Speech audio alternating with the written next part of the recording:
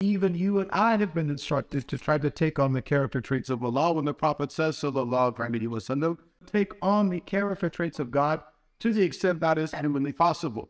In other words, Allah is merciful. We are to try to be merciful. Allah is just, so we are to try to be just. Allah Azza wa Jalla is forbearance. We are to try to be forbearing, etc., etc.